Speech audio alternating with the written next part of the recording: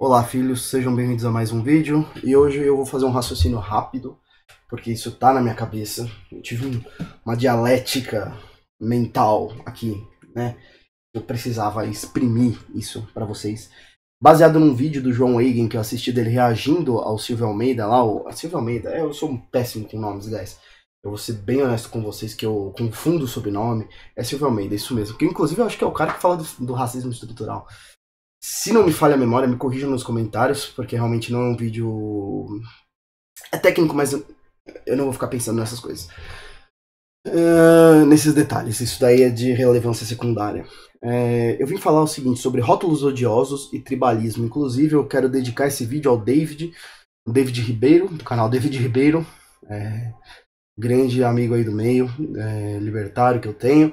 E esse vídeo é inspirado em partes a ideias que eu acabei absorvendo dele, né? principalmente no que tange a taxonomia das definições. Mas eu vou tentar ser o mais breve possível aqui e sintam-se livres para discordar e complementar pontos necessários, caso isso se faça necessário, principalmente se você denominar-se como uma pessoa de um pensamento de esquerda tá? Que é justamente o que eu quero desenvolver aqui.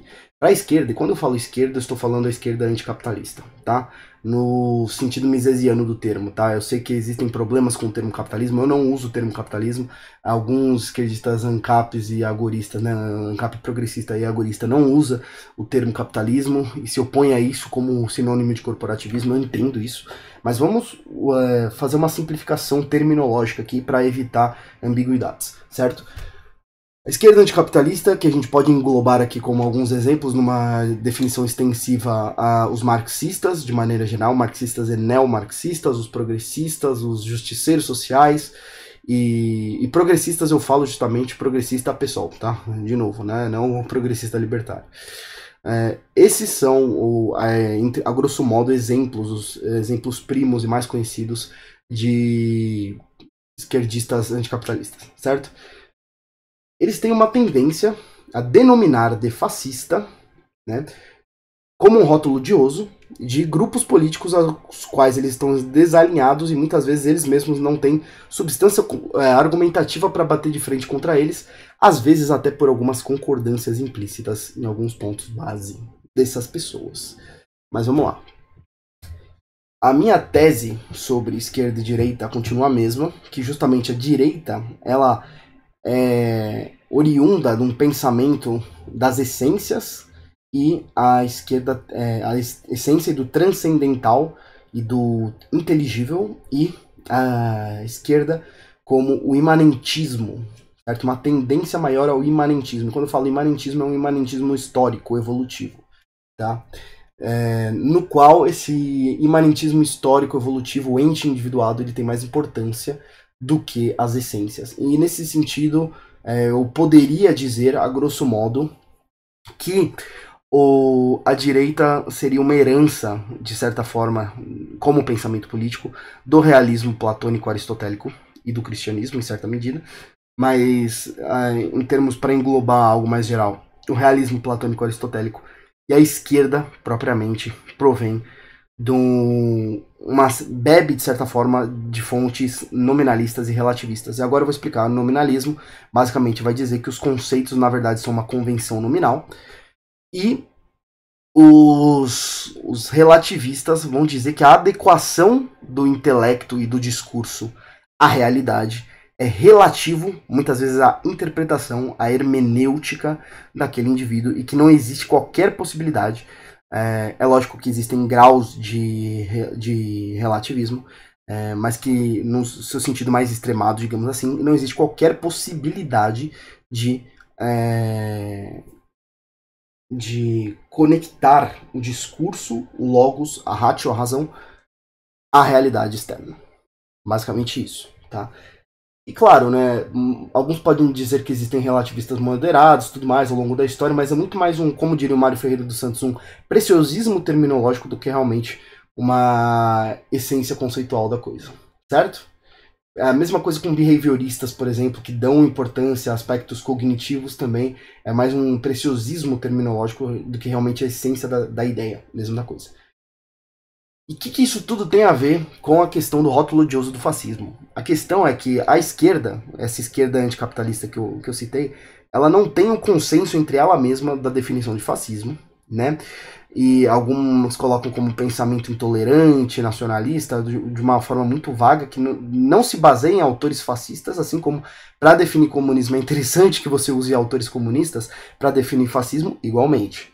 Né? Então não existe uma teoria positiva mesmo do fascismo, mas basicamente é um termo de uma definição, digamos assim, é, líquida. Né? E essa definição líquida, essa definição muitas vezes multívoca de vários significados, ela é necessária para fins políticos.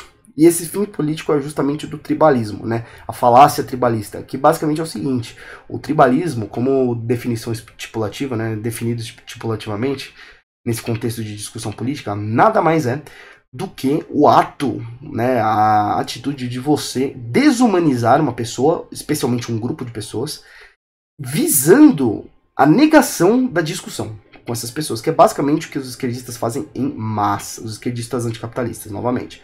Né? E veja, isso é necessário para que eles coloquem uma estrela, tal como Hitler colocou nos judeus, para criar esse rótulo odioso para perseguir as pessoas de quem a esquerda discorda, que justamente, eu já vi até esquerdista falando que fascismo é um sentimento baseado no que é, eles se sentem ameaçados com algum tipo de discurso que não necessariamente tem uma substância alinhada com a doutrina do fascismo, de fato, mas com uma ideia vaga o suficiente para que isso seja tratado como um rótulo odioso e desumanize os interlocutores. É justamente isso que pessoas como Silvio Almeida e afins, eles estão tentando fazer. É isso que está por baixo desse discurso. Então eu peguei esse vídeo, assim, que é realmente um vídeo muito bom do, do João Eigen, inclusive vou colocar aqui na, vou colocar aqui na descrição, em que ele é, desmascara isso, ele mostra que a classe política realmente também é a elite econômica do país, baseado justamente até mesmo no, nas análises dele, mesmo como ele é um cientista político, né, e ele é, tem acesso também ao patrimônio aí dessas da classe política de maneira geral e ver que o alto escalão do funcionalismo público é algo que é até, até uma obviedade, né? É a classe mais rica desse país. É, ele expõe algumas dessas falácias, expõe o envenenamento de poço que existe na discussão do na discussão do Silvio Almeida e também um, a má conceituação, que inclusive é uma coisa que eu estava discutindo com um amigo esquerdista meu aqui, que até fez uma brincadeira com como um bom misesiano, cara. É, é nessas horas que é bom ser misesiano e clássico ao mesmo tempo que eu consigo fazer essas.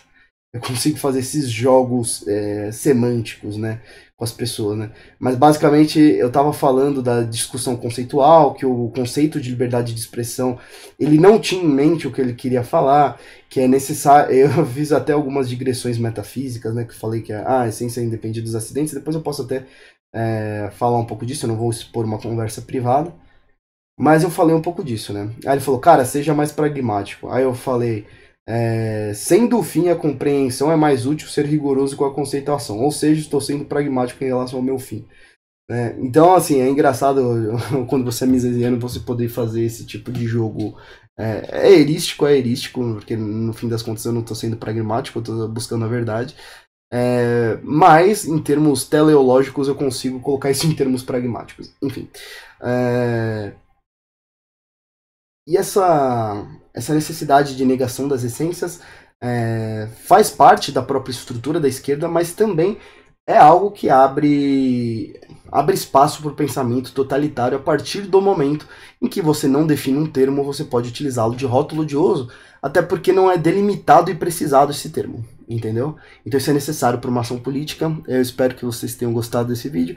É só um insight realmente falando sobre tribalismo e sobre algumas consequências políticas dessas posições. De novo, como eu sei que existem é, libertários secularistas ateus, também progressistas que são de certa forma considerados de esquerda, então eu quero realmente ver qual que é a, a, visão de vocês sobre isso, até porque o que se entende como esquerda política é um corpo muito heterogêneo de doutrinas, embora exista uma noção implícita do que é esquerda e baseado, é claro, né, numa experiência, querendo ou não, numa experiência própria, com um corpo tão heterogêneo de doutrinas, tanto de esquerda quanto de direita, o que eu pude unificar sobre essa, esses rótulos de asas políticas são justamente o essencialismo no sentido de realismo platônico, não de minimalismo, né?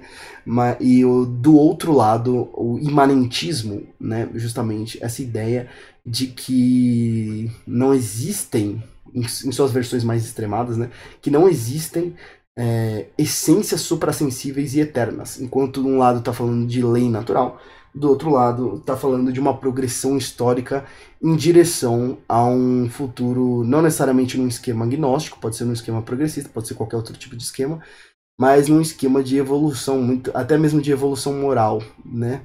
É, que pode ou não ter critérios objetivos, né? Como no caso dos randianos, geralmente se busca esse critério racional né, de certa forma fazendo uma amálgama até mesmo com as doutrinas de Aristóteles, porém sobre uma chave hermenêutica mais voltada ao imanentismo. É isso. Então, forte abraço, quem todos com Deus, quem não acredita em Deus, fique com a força do Luke, do Luke Skywalker, um forte abraço para o meu amigo David Ribeiro, que é um ateu, que assim como Chesterton tinha amigos que discordavam brutalmente dele, é, eu também desejo o melhor para ele, a salvação da alma dele, mesmo que ele não acredite em Deus. Forte abraço e tamo junto.